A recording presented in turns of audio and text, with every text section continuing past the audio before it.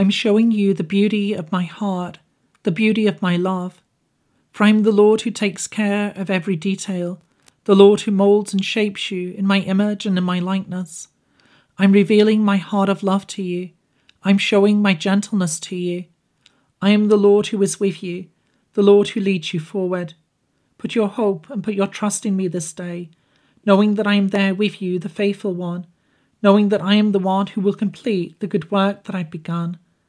For I am faithful and I am with you. I am faithful and I'm bringing forth newness of life. Trust in me, for I am making all things beautiful, making all things beautiful in the right time.